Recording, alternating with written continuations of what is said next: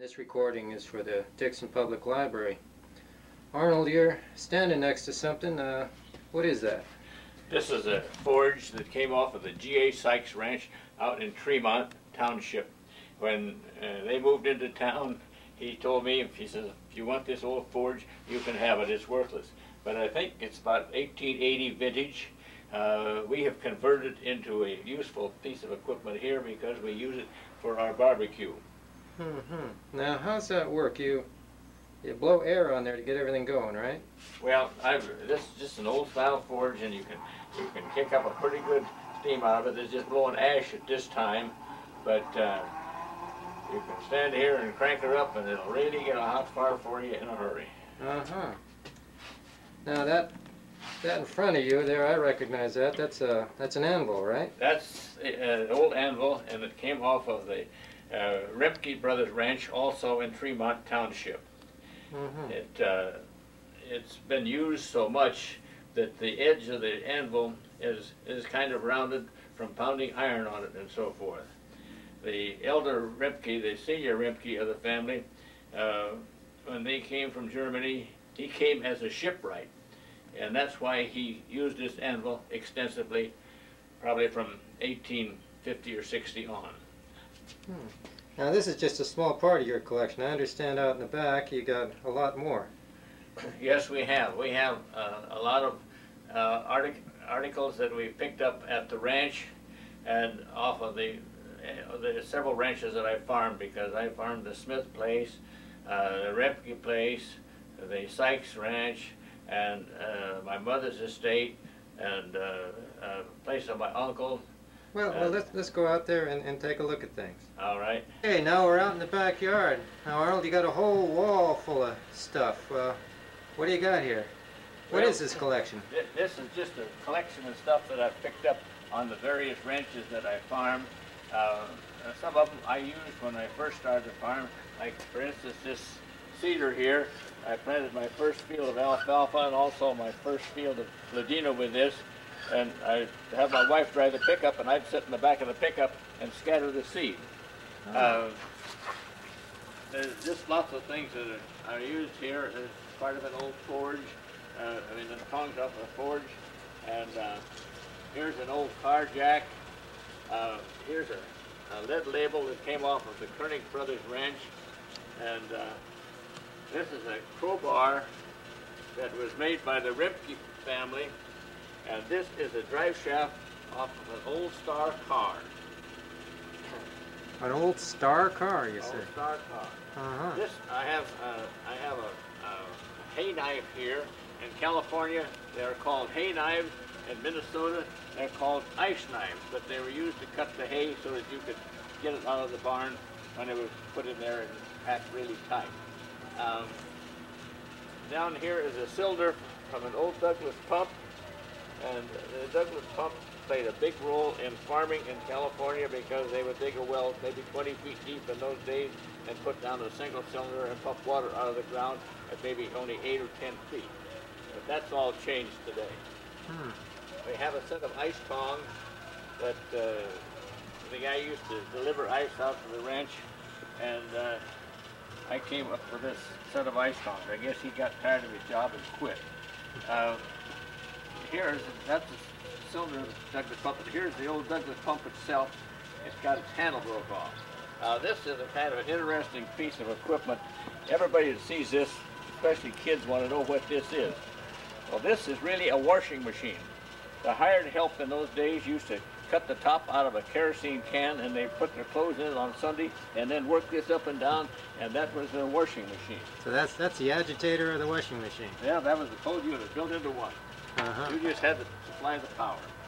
Uh, this is a kind of a, an odd deal because I picked this up when I was back in Tennessee to see, see my son. And this seat is off of what they used to call a Go Devil cultivator. And I'm pretty sure at some time or other a slave has been sitting in this seat.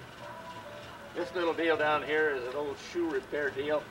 I uh, uh, thought this should be out here because my uh, great grandfather, when he came to California across the plains, he was a cobbler by trade, and he worked in Sacramento as a cobbler, and so he repaired shoes. But when I was a kid, I had to repair my own shoes.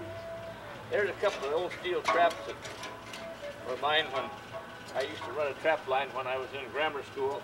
The Well, last What were you trapping? I was in school. What, what sort of animal were you after? Yeah, yeah, well, that's right. The coyotes and things? What now? Were you uh, trapping coyotes? Uh, no, skunk. Skunk. only. Oh yeah. Yeah. And if you skinned a skunk a night, one night, you didn't smell very good for your classes the next day. Here's another hay knife. Uh, let's talk about that for a moment. Uh, this is a shovel. One of the boys out at the ranch, one of the Spanish or Mexican boys, thought this would be a good idea so he could shovel and let the water go through the shovel and hold on to the dirt. But this is what he come up with. Now, uh, this is part of a, of a government survey deal that went down in the ground. Uh, I did not steal this because it says this is a $250 fine, but the Southern Pacific tore it out of the ground and I just picked it up before it was completely destroyed. That that's a survey marker. That's a survey marker, yes. Uh-huh. That's right. Here we have, going around this headstone, it's a solid rubber tire that at one time was the only kind of tire you got on trucks. Now, if you just look at the, that, that thing and you can realize how the hard ride you would have. Um, here's, here's an old uh, bit. I imagine it was probably used by a, one of the early settlers, maybe even by uh, some of the early Spanish people that were here in this area. This is a straw fort. Now, people say, look at this thing and say, well, that's just a pitchfork. But no, that has a little deal that goes behind to hold the straw on your fort. Uh, this is an old high school project that I made, uh, and I was real proud of that when I finished it. It took me probably uh, a month to complete that, a couple of hours a day. That's a that's a jack, huh? That's a jack. That's a screw, screw jack. Mm-hmm. And uh, the uh, this is a hub off of a wagon that was originally built by the Carpenter family in, in Silveyville. This little crooked piece of pipe is kind of interesting to me. It may not be to some people, but at one time, the Southern Pacific, when they first put the line in, they would not let you put any telephone lines over top of the railroad track because of the high uh, uh, smoke uh, exhaust yield on the on the train. But this, the farmers in those days would drive this piece of pipe underneath the railroad track and then run a telephone line through it so that they could communicate with people in town. Uh, these are a few things off of wagons and so forth. Um, I guess that's about the extent of it. Everybody used one of these, an old tire pump, where you had to pump up your own tires uh, uh, to, before you could get, get into town to get the groceries. This is a part of an old Jackson fort that, uh, not a Jackson fort, but a, uh, a push fort that we used out at the ranch. And uh, that was a handy tool when we first had alfalfa. There's an old monkey wrench. I think it's been monkey with for the last time. I think it's pretty well set there. Hmm. I think that about completes this. Okay, let's go inside and talk for a while. Alrighty, fine. Okay, well, let's see. This recording for the Dixon Public Library for the Oral History Project. Today, July 17th, 1998, I'm talking to Arnold Collier in his home here in Dixon, and my name's Paul Ferrell. And we're going to talk about Dixon, uh, but first let's get some family history, uh, what you happen to know of your family history. How far back do you know? Well, uh, my uh, great grandfather and my great grandmother, of course, came across the prairie in 1852 with nine siblings two boys and seven girls. Um, he arrived in Sacramento. He immediately found work at his trade at that time, which was as a cobbler. He worked there for uh, several years, and then he got involved in hotel management in, uh, well, it's uh, one of the buildings in Old Sacramento. Uh, in later years, and then he moved out to Dixon uh, in the Silveyville area and uh, bought a piece of property. Um, he was he farmed for several years, and then he got disgusted with California. I guess it surely wasn't because of the uh, population in California, but anyhow, he decided to take his entire family back to uh, the East Coast, where he originally came down from when he, he uh, first came over here as a boy from Ireland. But anyhow, uh, they got on the Yankee Blade, which sunk down by Santa Barbara, and there was no loss of life. They hit some rocks, but they, like he said, there was just lots of suffering. Anyhow, they were all picked up. He came back to Dixon, made a deal with the fellow he'd sold his ranch to, and decided to stay in Dixon. He'd had enough of that ocean. At uh, my grandfather, uh, A.B. Holdridge, uh, he selected another way to come. He had fished in his youth, so he jumped the ship and crossed the Isthmus of Panama and came to California. He worked for several years as a freighter from the Sacramento area to uh, Placerville and Auburn and all the gold mining towns. He had his own team, and that was where there was quite good money in those days as uh, to move freight from Sacramento on up there. Did, did any of these old relatives of yours, did they ever try their hand at getting gold? If he did, he didn't talk about it, so I don't think he had much luck. Uh-huh. Uh, uh, he went into business, and, and then he came down to Dixon and bought uh, 160 acres first, and kept adding to it till he finally had eight or 900 acres. Uh, he married one of the Hall girls, Mary Priscilla, and uh, they had, uh, uh, I think, four children, but only three of them survived.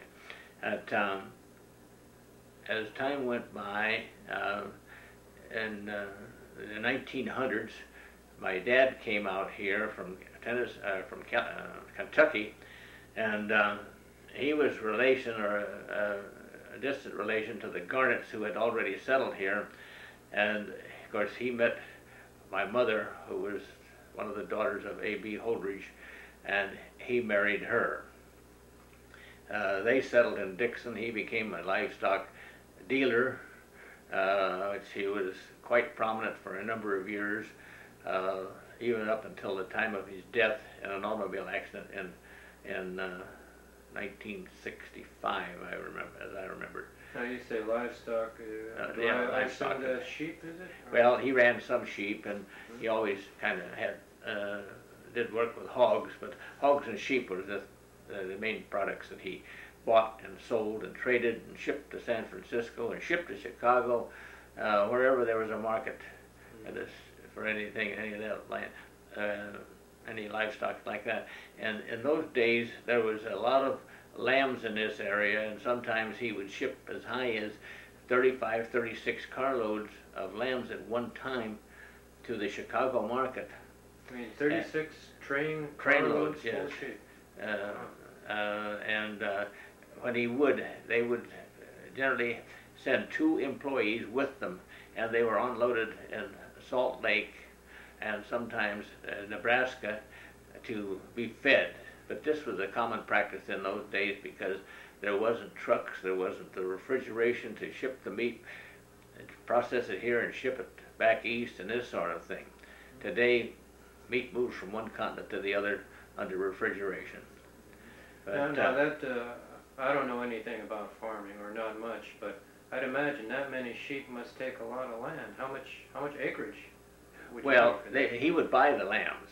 oh, I See, see. he, He a he would buy the lambs broker. from maybe 25 or 30 guys, uh, people, and they would come into the old Granger's Business Association, which used to be uh, kind of across the street from the Dixon Methodist Church at this time, and they were shipped out of there. It was uh, it was a business. He wasn't the only livestock buyer in the Dixon area, but when he was operating, he was one of the largest. Uh, in later years, he worked for somebody else and just bought lambs for Mr. Vaughn at that time. Hmm. And he also bought livestock for the C. Bruce Mace slaughterhouse. Mhm. That, uh, that just about completes family. That, that brings up to you now. Uh, when were you born? I was born in 1916 at their ranch out on uh, at the corner of Tremont and Robben Road.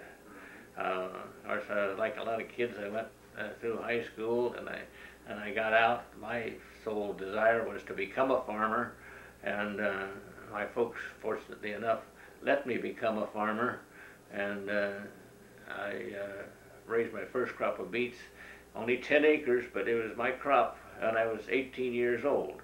But uh, uh, then I uh, acquired a little piece of property through the help of my mother and whatnot, and and uh, then in, in 1937 I got married. So that's the start of my life. Well, now, now, as a as a little boy, you were growing up on a farm. But, Yes. I don't know. I hear stories of uh, people saying that, uh, well, that's the last thing they want to do. They want to get away from the farm. But you say you loved it. Well, uh, I guess I was farm oriented. Uh, um, there was some land there available for me to farm, and so I took advantage of it. I didn't uh, uh, go on to college, although I probably could have, but I elected to go the other way and and get my hands dirty. Well, tell me about that, that family farm uh, when you were a kid. Uh, what all did you raise there? Well, I wasn't on a family farm. I was on my own farm when I started, but I leased ground from my mother and I leased ground from other people.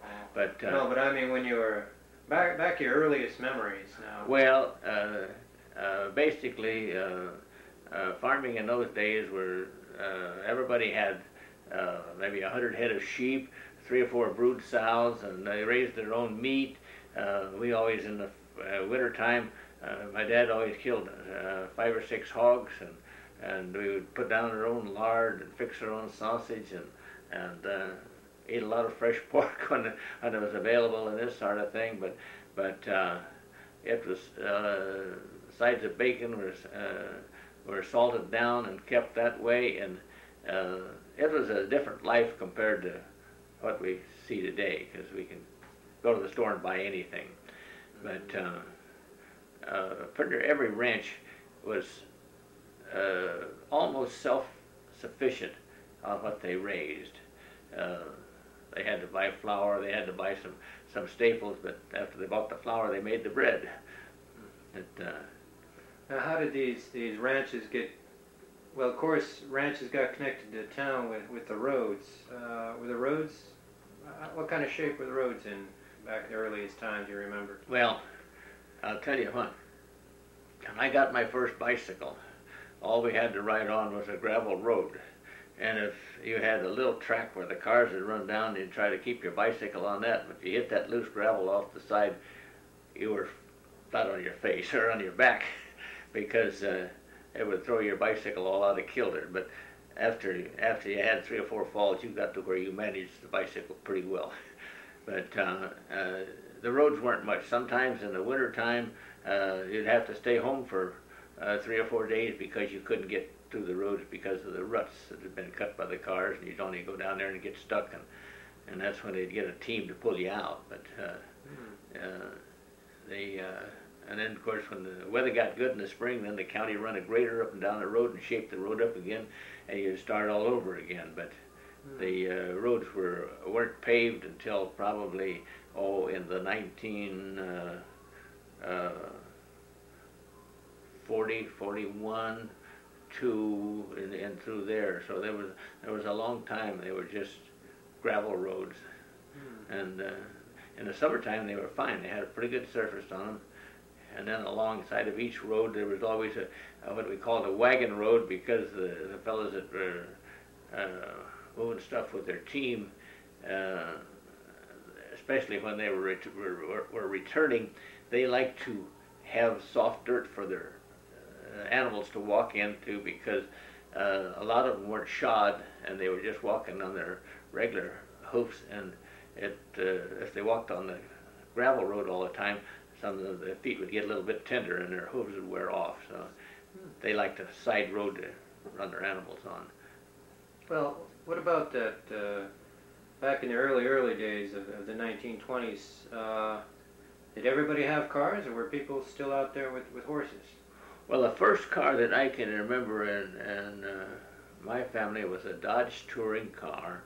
Uh, I know when you went out in the rain, you had to put on the little, uh, what I call isinglass uh, side curtains, and had little kind of peak holes in them that you couldn't hardly see out of, but at least it kept the rain out of the car. But that was about, uh, oh, I imagine 1920, 1921, two, sometime in through there. Uh, that's kind of the first remembrance I have. Of course, I was born in 16, so I've been three or four years years old. It may have been a little bit earlier than that. I just can't recall. Mm-hmm. Now, oh, another thing. Uh, I wonder if you were around uh, when the first electricity got got wired out to the farms. Well, yes and no. Um, when my folks built their house in 1909, I believe it was, well, they were fortunate because electricity had just begun to come into that area, and they were, they were the last house on the electric line for that particular electric line because they would they would try and take in four or five uh, people with electricity, and if nobody wanted on down the line, and a lot of people used lamps and used lanterns and whatnot for their chores and whatnot. Uh, so they didn't want anything to do with electricity, although uh, probably in the 1930s, well, uh, uh, late 20s and early 30s, a lot of them did go ahead and extend the line, and it didn't cost very much.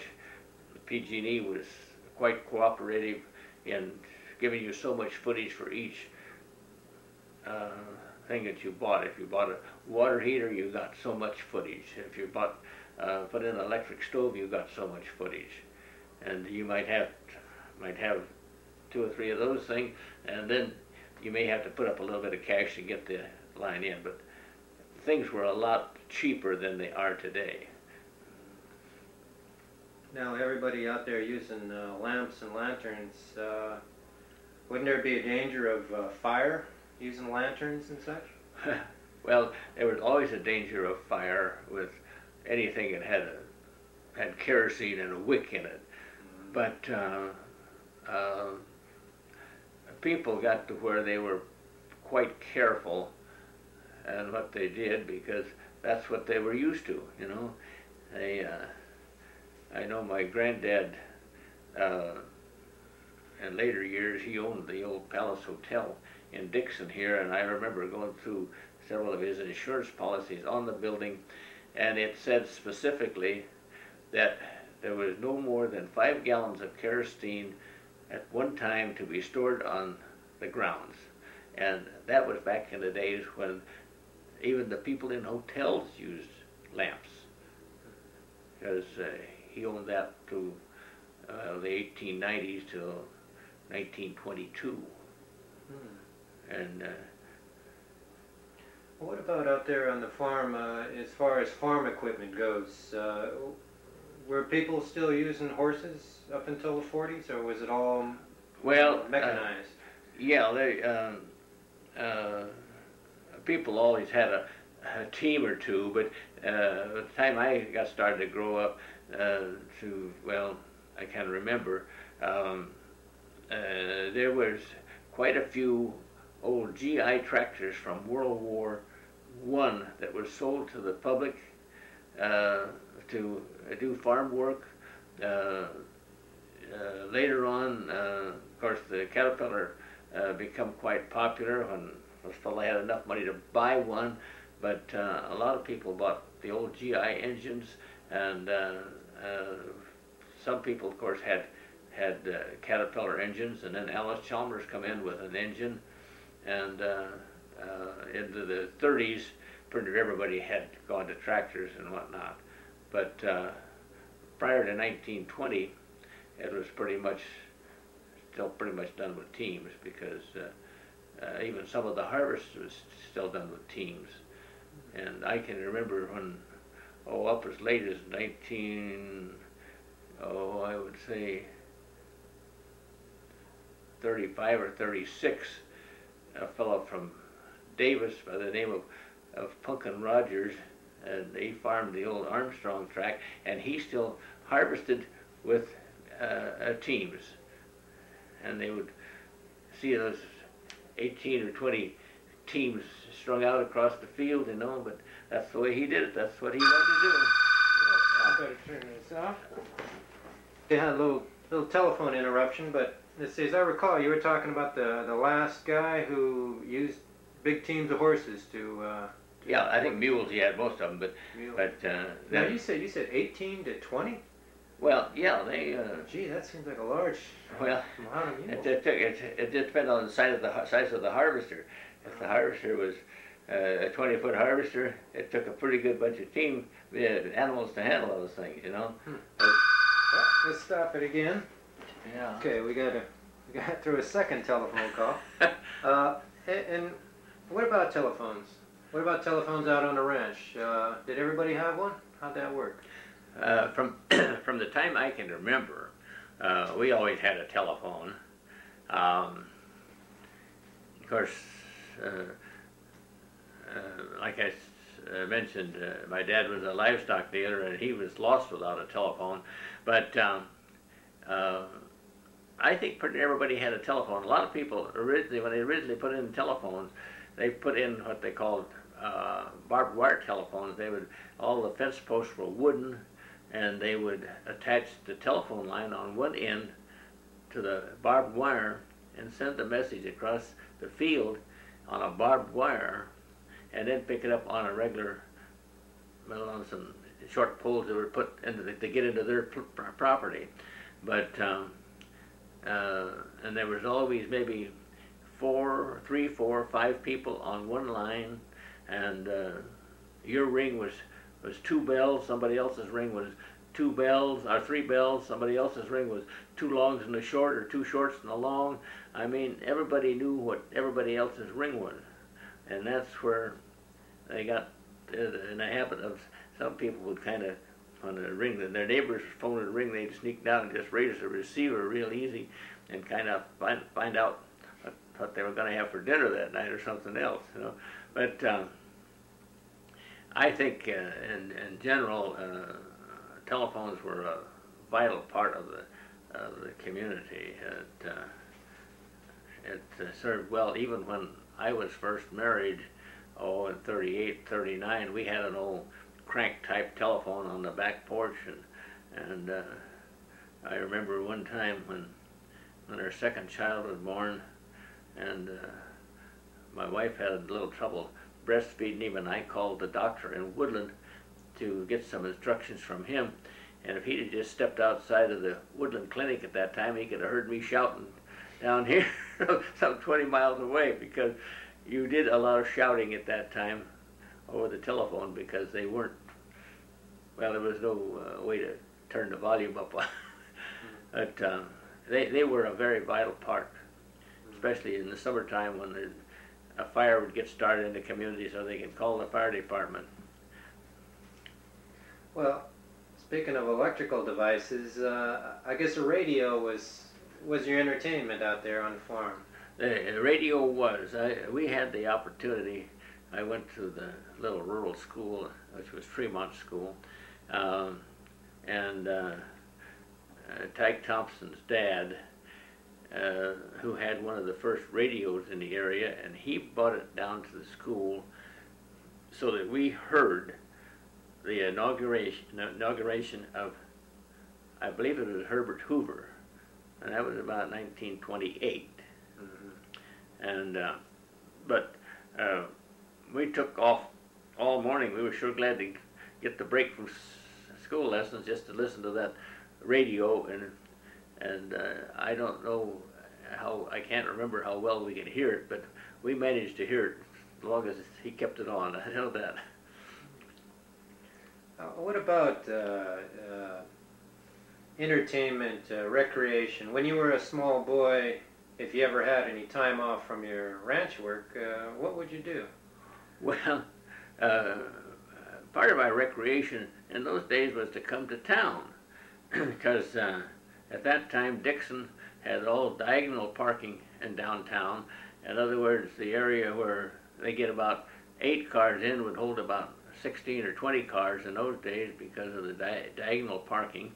Even though the highway went right down Main Street, and you would come to town and you would you would shop uh, at uh, your favorite grocery store, and after you got through shopping, you may sit out in your car and and everybody that knew you in town would come over to your car and you'd visit right on Main Street. And uh, of course, there was always a, um, a uh, uh, soda fountain in the drugstore.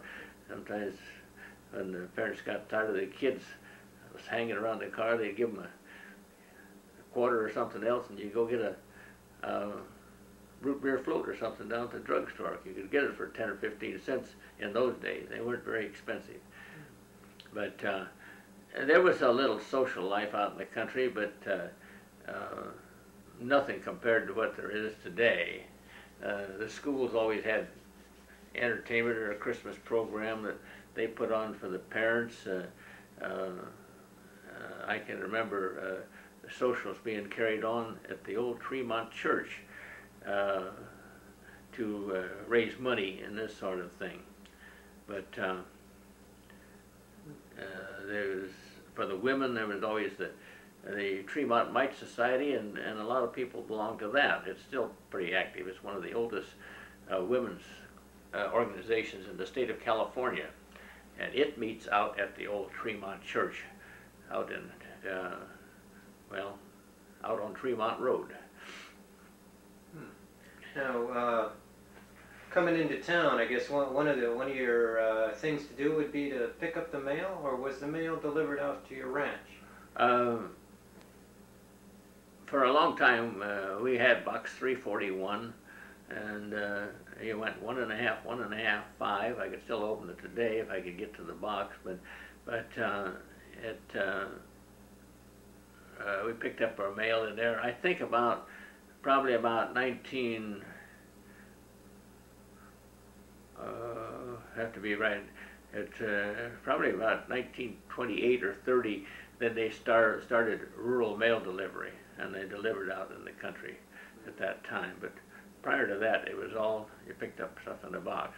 But a lot of people hated to give up their post office box in town because that was another meeting place to visit with people that you didn't see because uh, people were, well, the, the post office was just a place to see people because there was always somebody going in or out and everybody knew everybody in those days, because there wasn't that many people in Dixon. What about some of the, of the old businesses in Dixon? You mentioned that uh, there was a soda fountain you could go to. Uh, Well, know, uh, uh, the Kirby drugstore had a had a soda fountain, uh-huh. and then later years, a fellow by the name of uh, Bill Milligan started another drugstore, and he also had a soda fountain. Uh, during prohibition, you could get any kind of a soda drink that you wanted at uh, Dawson's, uh, and uh, Dawson's even had a restaurant in the back end of it when it was across the street from where it is now. There was a Japanese restaurant there for a number of years. At, uh, Uh, now, uh, as far as businesses go, uh, what else did you, there was a theater. There is a theater. There's no more theaters in Dixon today, but there No. was back then, wasn't it? Uh, no, when I was, and we used to go to the theater quite often. Uh, I forget when the new theater was built, but I imagine I was maybe 10 years old when the place, what they call the theater now, was built. Uh, and that was built by a fellow by the name of Bill Gerlach, who had a soda fountain across the street, too. Uh, uh, especially when prohibition went in, there wasn't any place for people to, to drink hard liquor, and uh, uh, soda fountains were quite a popular place. But uh, earlier than uh, when Bill Gerlach had that theater, there was another little theater that uh, was a couple of doors to the south of, of the present theater, but uh, I don't know whether it's in where the beauty parlor is or whether it's in where the uh, uh, Mexican restaurant is now, but it's right in that area. Now, you mentioned a, a Japanese restaurant. I never heard about that. Well, it wasn't. It was. They were run by Japanese, but they cooked all American food. Oh. There was no. Uh, in those days, uh, there was no Chinese restaurants or, or Japanese restaurants. You, you got all American food. I mean, it was just the Japanese couple happened to run it. You know, I, I always hear about the here in Dixon. It's it's the Germans and it's the Portuguese as the two big groups. Uh-huh. Now yourself, you're you're neither one, are you? You're Well, Scotch Irish, is that right? um, and see, uh, on both sides of my family, uh, they had immigrated to this, to the United States long before the big rush of immigrants, because my grandparents on my mother's side were back in Connecticut um, during the uh, uh, Revolutionary War. Uh, my dad's folks uh, had moved out into Kentucky, and uh, you'd be surprised, of course, Kentucky at that time was a uh, kind of a satellite of, of Virginia, and uh, Harrodsburg, Kentucky has just a lot of revolutionary history, but, but they were here earlier, and they didn't come in with the, they were of Scotch, Welsh, and English ancestry, that came from England. Well, well, what about these these Germans in town? Somebody told me that uh, after World War One, some German families uh, would change their name so that they wouldn't be identified as as German. Well, it, it bothered some of them. Uh, some of them would change one letter in their name Hmm. uh, to make it sound more American or more uh, uh, Danish or more Swedish or something along that line. But uh, uh, I can only remember one family that uh, ever did that, and and uh, a lot of the people called it by the old the old name, the old pronunciation anyhow. So it didn't make that much difference. Well, now you were you were just two years old when when the First World War ended, but uh, uh, did did that war have any effect really down here in Dixon that you know of? I can't, uh, I can't recall any, and there was no effect in my family because there was nobody involved in the uh, service of their country at that time. As, uh, as my brother was older than I was, uh, I mean, anybody that had two children, and we had, uh, my folks had us two boys that, that uh, I don't think they took, uh, they had to stay home and take care of your family. Well, something that happened there at the end of the war was the uh, Spanish uh, influenza ep- Yes. epidemic of 1918. Of Uh-huh. course, I, I don't think you could remember that. But did you ever hear any stories about that? I, I, I have a very little recollection of that, although I've, I've known uh, uh, particularly uh, uh, one Portuguese family here that, that, uh, that uh, uh, wiped out two of the brothers, and uh, that uh, the rest of the family stayed on and survived.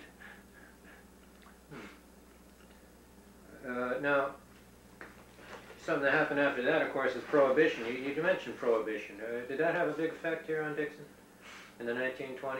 Well, I, th- I think it did. Uh, uh, of course, my dad came from Kentucky, and uh, he and Bourbon always got along pretty good. Um, I know that uh, he always carried a bottle, which was a doctor's prescription.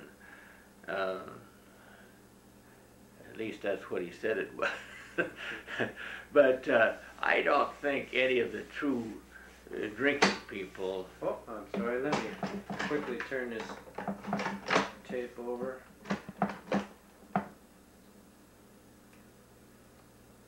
Okay, I'm sorry. I let that run out, but now we're now we're recording again. Now, now you're talking about Yeah. prohibition. Yeah, I think, uh, like my dad, uh, who always liked to drink, and my dad being a livestock buyer, uh, he did a lot of social drinking. In other words, um, sometimes uh, you didn't make a deal with the guy if you didn't buy him a drink, you know. I mean, and uh, it kind of mellowed people too. Uh, and let's face it, uh, that was part of the uh, lifestyle because there, at that time uh, uh, there was a lot of single men in Dixon that uh, followed the the uh, um, harvest season, and uh, then they'd come back and, and when tractors started up in the fall of the year to put the grain in, they'd be back around to drive a tractor and whatnot. And these boys lived downtown, and and a lot of their evenings were spent in the bars pass the time of day. There was no TV to watch in those days. Well, uh, of course, after uh, Prohibition, I, I think they, they ended that in 1933 and I think. pretty well into the Depression. Uh, how, how did the Depression hit Dixon? Well, I think everybody suffered during the Depression. Um, uh, I know uh, uh, grain was down to ten or twelve dollars a ton at one time, and uh, wool uh, wool was they were trying to peddle wool for three or four cents a pound. They couldn't even get the the fellows that sheared the sheep to take the wool for cutting it off the back of a sheep and uh, those uh, that little those little periods uh, sometimes those periods last two years sometimes three years but but uh, the people that bought a lot of wool and stored it made a lot of money off of it but they were not the farmers because they had to get what they could out of the their wool or their or their grain to to eat on you know that uh, I know all the time I went uh, to high school uh, my dad had made a deal with uh, the old red and white store here in Dixon that he would pay his bill when he sold his grain and again when he sold his lambs. And uh, the old guy that run the store, he said, well, he says, yeah, that's fine with me. He said, I, all I look at is if you can't pay Bob, there'll be a lot of other people that can't pay too. So that's the way it was done. Uh, you said a lot of these farms around here were more or less self-sufficient. That must have paid off when when. Well, yeah, I think in, in uh, later years, you know, uh, as uh, canned products begin to come into the stores, uh, originally when the first settlers were here, there wasn't, you couldn't go in town and buy, uh, we'll say, a, a can of peaches or a can of apricots. Uh, you had to put them up on your own place Mhm. and that's everybody had a, a, a, cellar where they kept all this stuff and and they had shelves down there and and I can remember at that place going down there to get a jar of strawberry jam and it was it was all down there all labeled and whatnot but uh, we very seldom in my earlier years went to town to buy something like that it was it was there Well, tell me a little bit about uh, about schools around here. You, you said you went to uh, Tremont School. I went to Tremont School, the original school that was built there. Uh, I don't know when it was built, but it, my mother went to school there, so it, and she was born in 1887, so it was built there prior to the turn of the century. Uh, in fact, uh, my mother and my aunt and my uncle all went to school there, uh, grammar school, and then uh, they would come into high school. My mother did not, because uh, she was the youngest in the family, and, and my dad was, my her father was uh, uh, a, widower by that time, so uh, she stayed home. But uh, there used to be what they called the Dixon, Dixon Academy, and I think my aunt and my uncle both went to the Dixon Academy. Now I don't know how that was like a you might say a junior high school or something is today, but but they would go a couple of years to that, and uh, I know my uncle, uh, he went on to after he graduated from that, he went on to Heald's Business College in San Francisco, and uh, learned the accounting trade and whatnot uh, down there. But uh, uh, the high school, even when I went to high school, we only had say like 100 and, 110 students uh, something like that. We had an exceptionally big class, I think we graduated 36 or 37, but the class ahead of us only had 18 pupils, and the class behind us only had 18 pupils. So we had twice as many as the class Hmm. as front of us and behind us. But, um, Now, now you said class of, of 37? I was a class of 34. Oh, you were the class of 34? Yes. Oh, okay. Yeah, I was married in 37. You were married in 37, yeah. I was just thinking of, uh, well, I, I talked with Vernon Dutra and Yeah, Margaret Carpenter. Vernon probably graduated, 37. what, about 36? 37. Oh, he did? Okay. Yeah, yeah. Now tell me about uh, high school. Uh, uh, they told me they had a lot of fun in high school. How about yourself in class of 34? Well, I'll tell you, for a little boy that came from the country, I had a barrel of fun. Because uh, uh, after I got up uh, in my junior and senior year, my brother had uh, graduated from high school, and we had an old Willys Knight, and uh, I'd fill that old Willys Knight full of kids, and we we used it quite a little bit. but um, uh, I'll have to say one thing: compared to the kids today, we were just goody goody good kids because um, there was not so many vices that we would get involved in, you know. Mm-hmm. Uh, uh, I s- tried a cigarette or two, but then uh, the kids that we ran around with, uh, none of them smoked.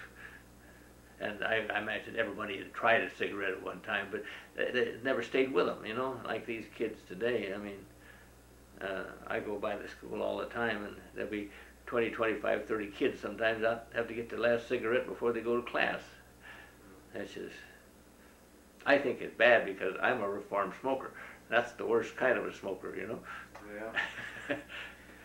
Well, uh, I remember Margaret Carpenter telling me that the thing she especially enjoyed was was dances. Oh yeah, dances. yeah, yeah, yeah. We had had a lot of dances, and we had uh, bring in uh, some local boys, maybe two or three instruments, and that's all we needed.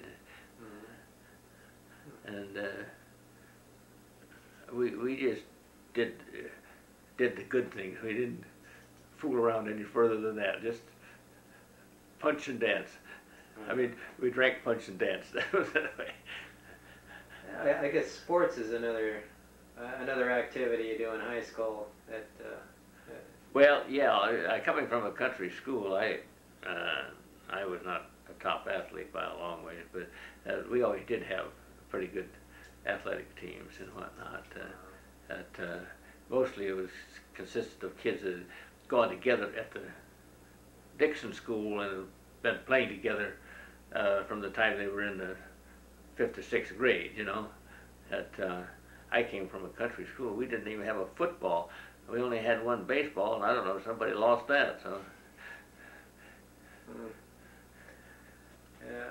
Well, uh, now a big event uh, everybody keeps telling me about is is the Mayfair.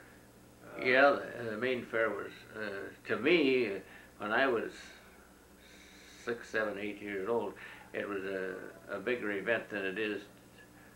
Well, we'll put it that way. It was more local because uh, they would have the parade, and the parade uh, today the parade consists of, of cars and horses and fire trucks and and uh, politicians riding and this sort of thing. But in those days, uh, the parade maybe wasn't so long, but maybe we'd have uh, 10 or 15 floats that had been put together with with uh, paper and, and flowers and whatnot, and they the people spent a lot of time on them. They, uh, but uh, it, it's entirely different than it is today. Um, they and then they, uh, you'd always when I was a little kid. Uh, I say a little, I would say six, seven years old, eight years old, and I remember we always took a, a basket lunch, and we ate uh, our picnic down there at the fairgrounds. After the parade, you'd drive your car down there and park your car, and there wasn't so many people. Where all the buildings are today was all parking, because all there was to the fair was a grandstand, and after after we had a picnic, everybody went to the grandstand. That's all there was. There was no carnival. There was no uh, exhibits. There was no FFA. Uh, there was no future farmers. There was. It was just uh, just a place for people to go. And sometimes they'd have a ball game between Dixon and Vacaville. Um, uh, they would quite often have a have a relay race between uh, maybe Dixon and Davis or Dixon and Vacaville. Uh, the guys that run 220 yards and, and uh, see who could beat each other around the, the half a mile track we had. Uh, they'd have some few local horse uh, races, uh, uh, some sometimes pony races, and uh, I know my uncle Kavanaugh, my dad's brother, he was he was well, he was the track marshal down there for oh any number of years because he had a horse that he called Black Beauty, and he was a small man. But uh, when you put him up on top of that horse, now he was a big man, and he would tell you, "Now you get back off the track."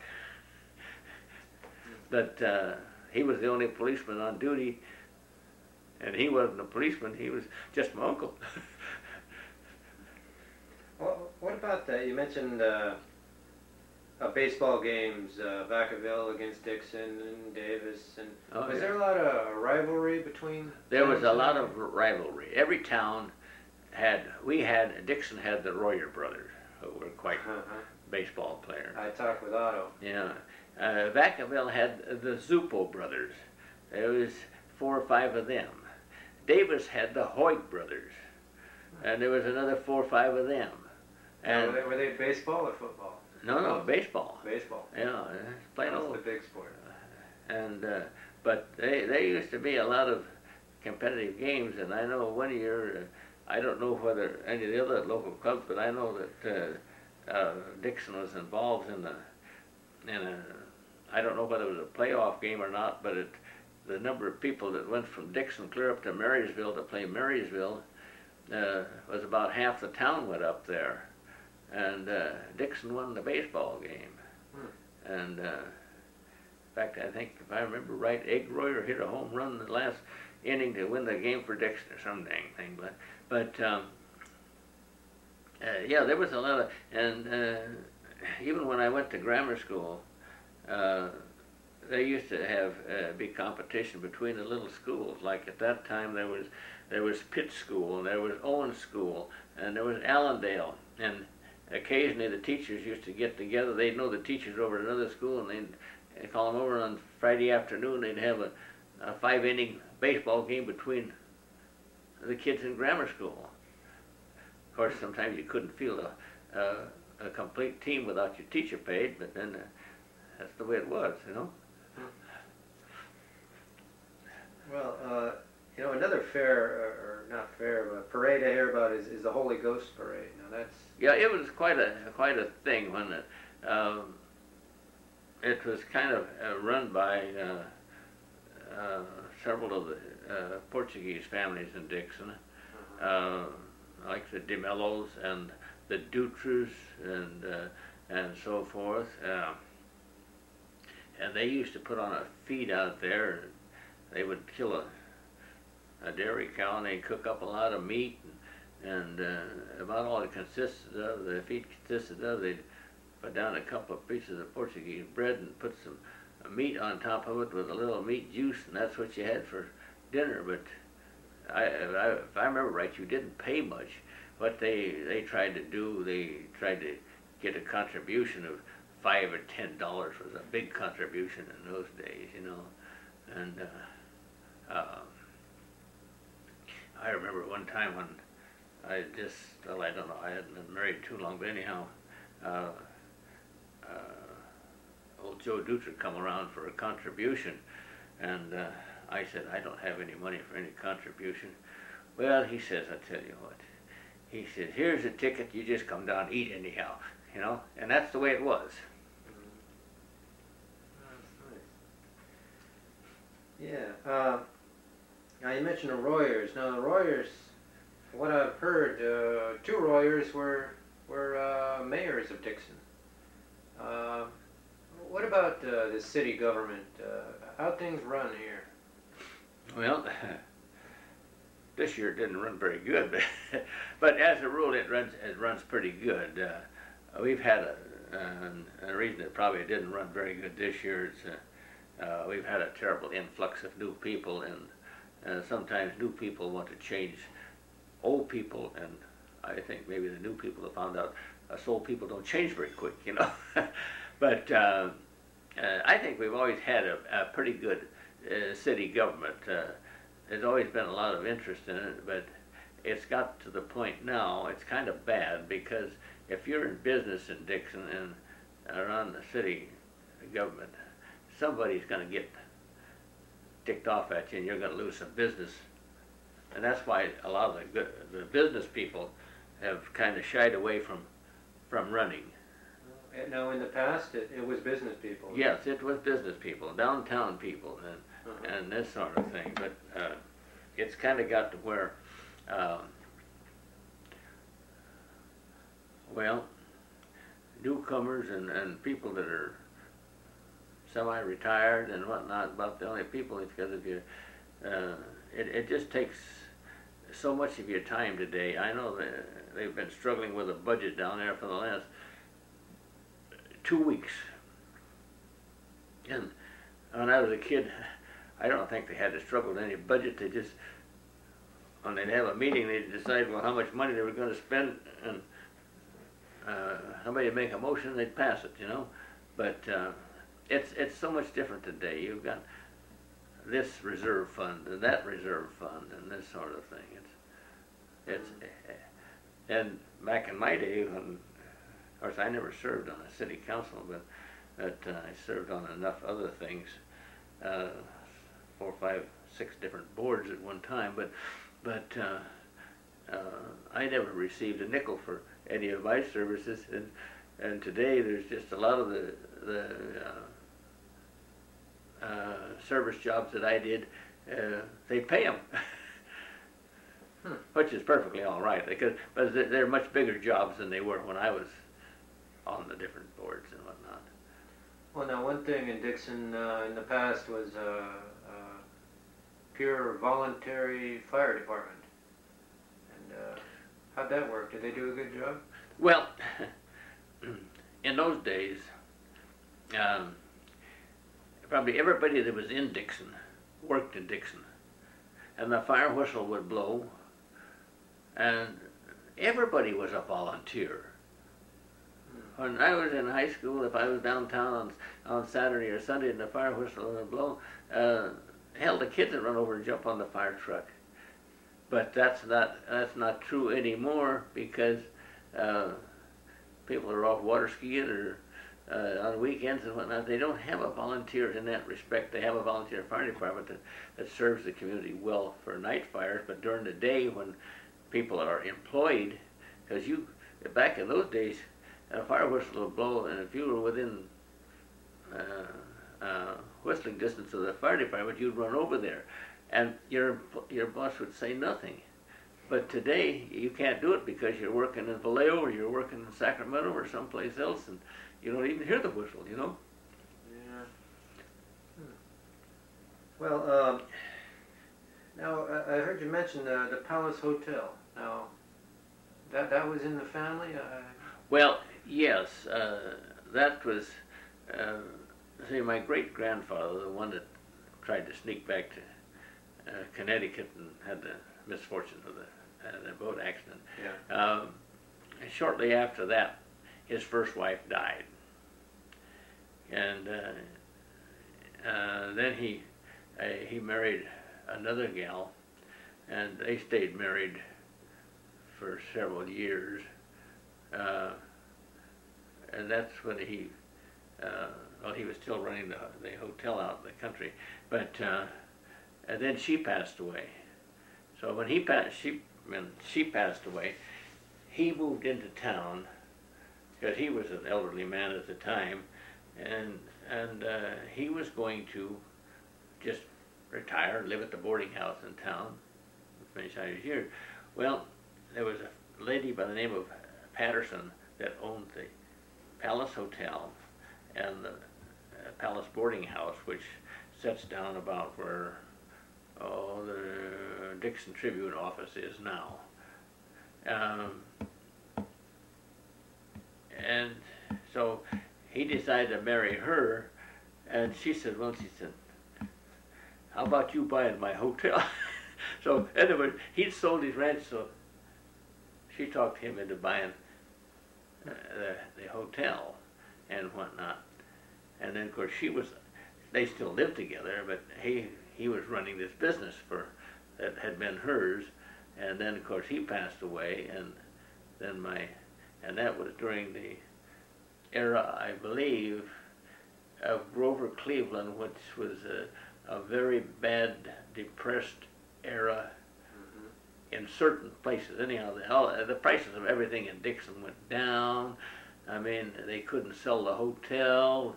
Uh, they couldn't sell nothing. And so uh, my grandparents and another one of the grandsons of one of the, well, one of the fellows that married uh, another one of uh, Hall's daughters. In fact, I think at one time there were three of them. They, they just kind of administrated the the business that was had to be taken care of at the hotel, and it was just kept as an estate for 12 years. And uh, of course, my granddad was kind of the head of the thing, and and that's how I came up with just scads and scads of letterheads and bills and whatnot, because uh, when he passed away, my dad was administrator for his estate, and my mother was a keeper of things, and I've got all this historical stuff, uh, mostly just business transactions and whatnot, and insurance policies and so forth. But um, uh, it, uh, I think it was a profitable deal when it was run, but then when it hit, got into that depression during the, the Cleveland era, and I think it was the Cleveland era, it uh, was quite bad. Um, it just depressed everybody and everything, you know. Now, whatever happened to the to the Palace Hotel? Well, it was sold. I don't know who it was sold to. It's still downtown here. It's still down there. Yes. Huh. It's It's got still a hotel. it's got a real estate. The entire upstairs is all closed off now. It's, it's where the real estate is, right across from Dawson's. Is on this. It's the corner of uh, uh, A and First. Yeah. I, uh, we were talking about fires. Uh, do you remember any any big fires in Dixon? Well, there was a hotel across across the street from the Palace Hotel that burned down. Oh, Uh, that's why I was asking. I thought maybe it was the palace that burned down, but it was the one across the street. yeah, there's one across the street that burned down. Uh-huh. Uh, I don't remember anything about it. I, I remember the rubble that was left on the on the air in the area when I was a kid, Mhm. uh, but I, I don't remember anything about the the hotel. It must have burnt down when I was maybe two or three years old. I just don't remember. What about doctors in town? Did Dixon have any have some good doctors? Well, yeah, we've always had good doctors. I think uh, when I was a kid, our favorite doctor was Doctor Stolley, and uh, but uh, uh, he would make house calls way out in the country. I mean, it wasn't. I mean, the kids got the whooping cough, well, they stayed home, and the doctor came to them. but today, you got to take the kids to the doctor. Just the opposite. But uh, he did a good job of serving the community. And there was a Dr. Florth and a Dr. Parsons. They just, uh, I guess they had as good a practice as Dr. Uh, Stolley, but they were were not our doctors, our regular doctors. But, uh, oh, and there's been other doctors since then uh, that have been good doctors here in town. There's been a couple of not so good doctors, but then that happens in any community. Well, let's see. We've talked about a lot of things. Uh, well, you know, something I wanted to ask you about was is uh, being a farmer, a rancher. Uh, what about irrigation?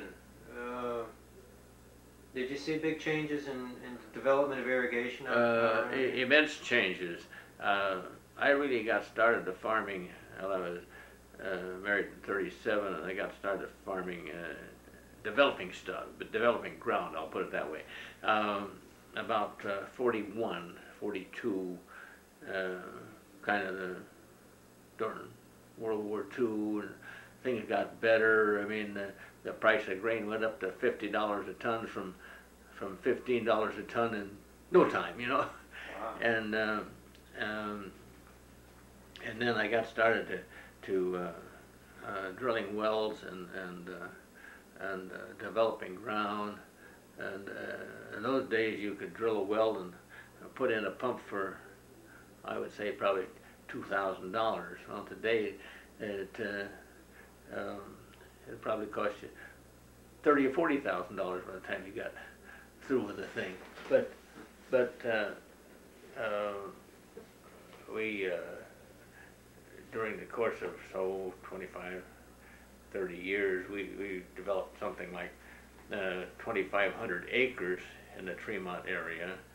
Uh, we would rent it for cash rent and and then develop it, put down the wells and and level the ground and put it into row crop. And uh, of course, we would we would have maybe a 10-year lease on it, but our rent would be down to where a lot of the uh, money that we saved on renting ground would be uh, a, good deal for us because we had developed the ground for a, a, a smaller fee, you know.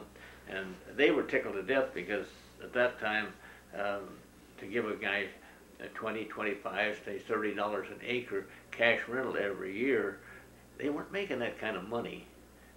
Uh, it was good money for them, particularly where they were they were elderly and wanted to quit farming, and uh, we had we were in kind of in luck. We was out there in the middle of a lot of lot of people. Most of them were Germans, but I always got along with them good, and we developed a lot of ground out in that area, and we developed it all in.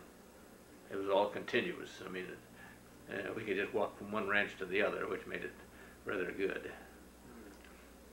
Now, back in, the- in the twenties, uh, and the thirties, uh, did you see the, uh, crops change?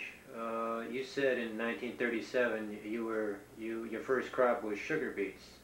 Uh, did they do sugar beets back in the twenties, or is that something Mm, new? Well, uh, there, there may have been a few sugar beets in here, but there were sugar beets in, uh, in the area, uh, long before that, you know, uh, uh, Spreckels, uh, of course, that was his sole purpose in life was to develop sugar, the Spreckels family, but, uh, as I understand it, they, they raised some sugar beets in the Dixon area way back in, oh, I would say 1917 or 18. But they raised them with no irrigation. And they, uh, they tried to plant them early and get them as big as they could when the rains quit. But they only did that for one or two years and then they quit doing it because they just didn't get enough production out of it. Then they went down into the, went down in around, uh, oh, in the, in the Bay Area where they could plant sugar beets and there would be enough fog. They'd pick up enough moisture from fog or moist air, Bay Area and whatnot. And they grew pretty good, pretty good sized beets down there. Now, hold on a minute, let me, uh, quickly.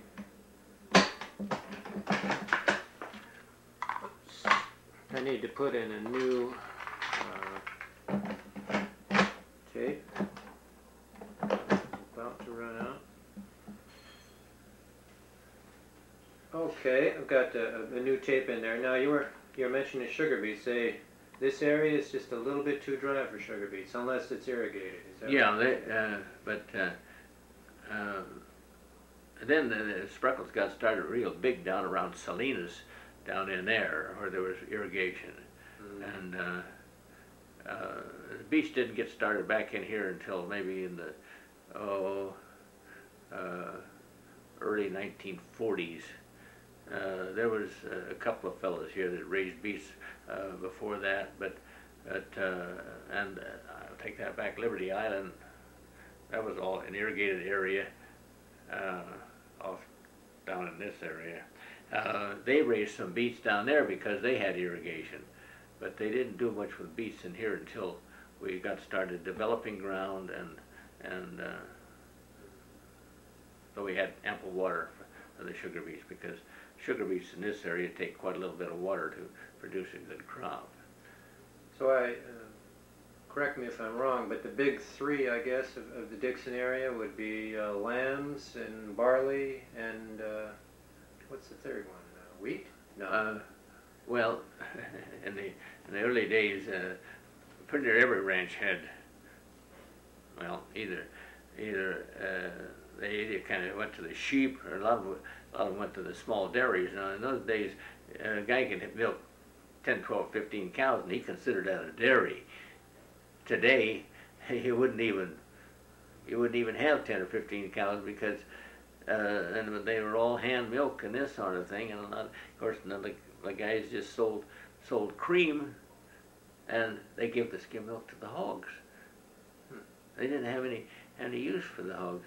Now there was a couple of dairies around Dixon here that that uh, bottled some milk, but, but they were uh, well, they were small except a Doyle certified dairy out here, but uh, well then then Guild, uh, Roy Guild got started with a big dairy, but but uh, for a long time they were just they were just little small dairies that separated the cream and took the cream into town, put the cream on the train, and sent it down to the the, the Bay Area for those people to have cream puffs and stuff, you know, because cream was a, a, a, product that the bakeries used a lot of in those days and that sort of thing. Huh. So, uh, Dixon, I guess you can't pin it down and say, oh, Dixon grows this or Dixon grows that. Dixon has a pretty wide variety of crops, Dixon has a, has a wide variety. During uh, one time, you know, they used to call Dixon a dairy city. Uh, and they called had, Lambtown too, didn't they? Well, yeah, that that came in afterwards, but uh, of course, uh, Lambtown is just a means of making, well, having a little celebration. And all these towns like uh, Vacaville, they, they have a garlic celebration. There's been no garlic over there for years, or onion celebration, I think. But um, the uh, uh, Dixon, uh, when they had, well, they had two or three good-sized dairies, uh, but then they had a, a lot of, of, of smaller dairies. But then gradually the smaller ones phased their, their dairy business out because uh, guys would come along and get started raising beets on the ground that they had in alfalfa, and that's what they Spreckels wanted at one time. They wouldn't let you plant beets without it was on alfalfa ground. They thought everything was uh, uh, well just good if you planted on alfalfa ground, and you would get good production out of beets on alfalfa ground. But then uh, during the oh, about 40, 45, the guys got started raising tomatoes in here, and tomatoes were really, a, well, in fact, they're one of the biggest money-making crops that Dixon has today. Mm-hmm.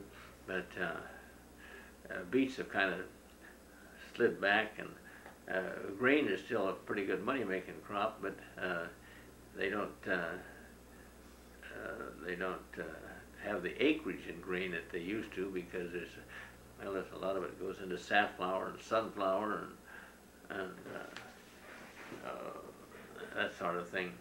They raise a few beans here, but they raise a lot of those beans after uh, some other crop has come off. Now, what about uh, uh, orchard crops, uh, almonds? Well, the almonds are coming in pretty strong today, and, and walnuts. What about in the 20s and 30s? Were they around then? Well, there was a few little uh, uh, orchard areas, but uh, out here around Dixon proper, there, there was this little orchard area west of town, but but uh, I say little. It's, it was little compared to what uh, an orchard is today. I mean, the guy will go out and put in 160 acres of almonds. Well, most of those orchards were 10, 15, 20 acres, because you have to remember back in those days, uh, you didn't have automatic shakers or automatic machinery to take these nuts off. You had to knock all those almonds with a big old pole, and you had ten acres of almonds, and by the time you got those ten acres of almonds knocked onto the ground, you had about all the almonds you wanted for that year. Yeah, Malcolm Tim, he, he, uh, he told me all about, uh, the work of knocking those almonds down. Oh, yeah, Not an easy job. yeah.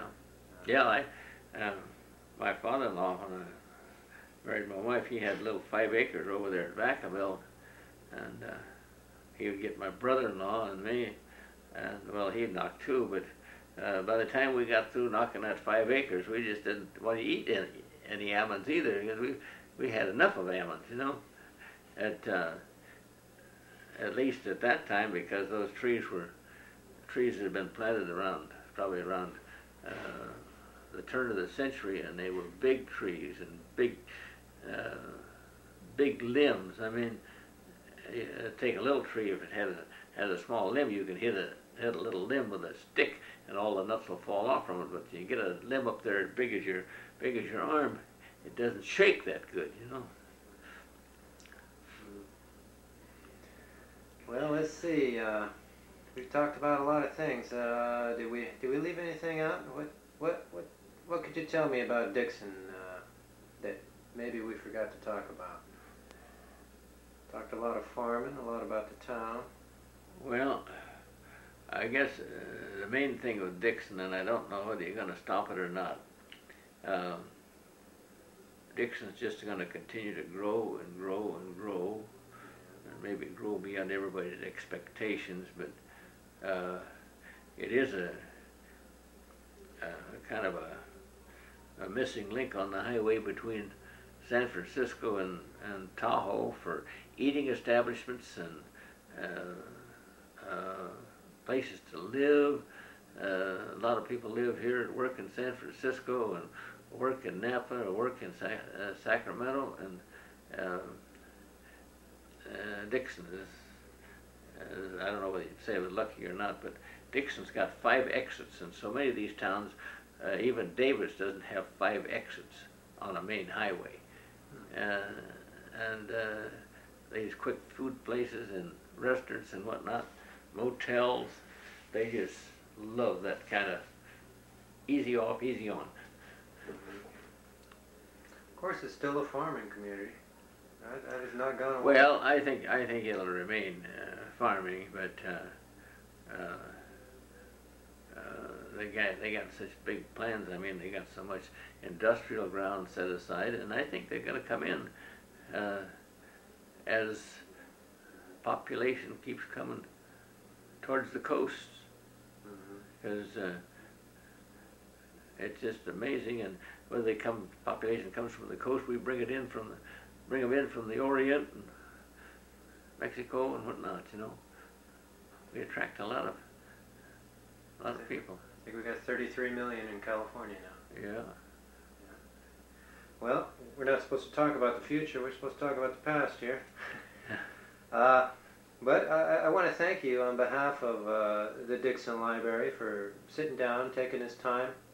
Part of this oral history project, we're going to get oh, better than 30 other people, and Yeah. it's going to be a nice thing. We're Yeah. going to be able Yeah. to, to Well, remember I'm, Dixon's I'm glad to participate in it. I think it's real nice to have this stuff on tapes, and yeah, help videos, to, and whatnot. help to preserve. Uh, Yeah.